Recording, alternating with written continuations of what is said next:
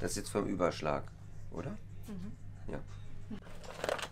Das ist das Make-up. Das ist die Farbe, die man ins Gesicht kriegt jetzt, weil wir auch gekämpft haben und so.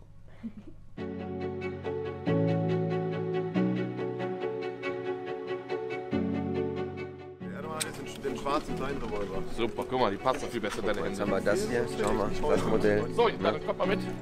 Mal. Das geschulte Auge sieht, da fehlt was. Was fehlt?